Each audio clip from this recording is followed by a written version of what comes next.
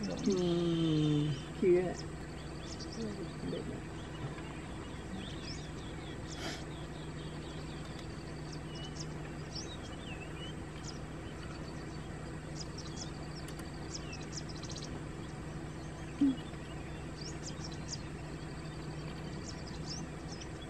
Sunbird only. That the purple one was sunbird. Something else.